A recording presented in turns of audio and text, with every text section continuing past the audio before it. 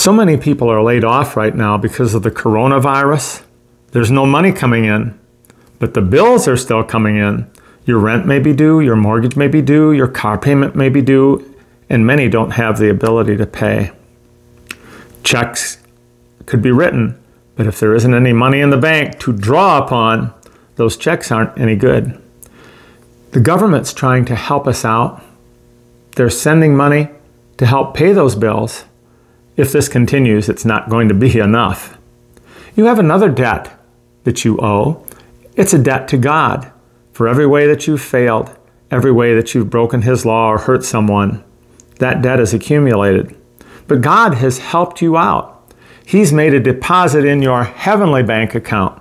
It's not in US dollars, it's in the blood of Jesus Christ. And you draw upon that by, in a sense, writing a check. You're writing that check by expressing faith in the fact that Jesus the Christ died on the cross for our sins. He's risen from the dead and He is Lord. When you pray and receive Christ as Savior and you believe the gospel, that payment is made on your behalf. It's a great feeling to be debt free. In the book of Mark 10, it explains that Jesus gave his life a ransom for many. That word ransom means a payment.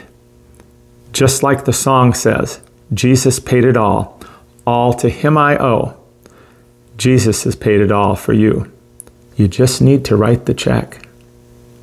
Tell God you believe on Jesus the Christ, and that payment will be made. I'm Dr. James Blanchard, and I'm all about the truth.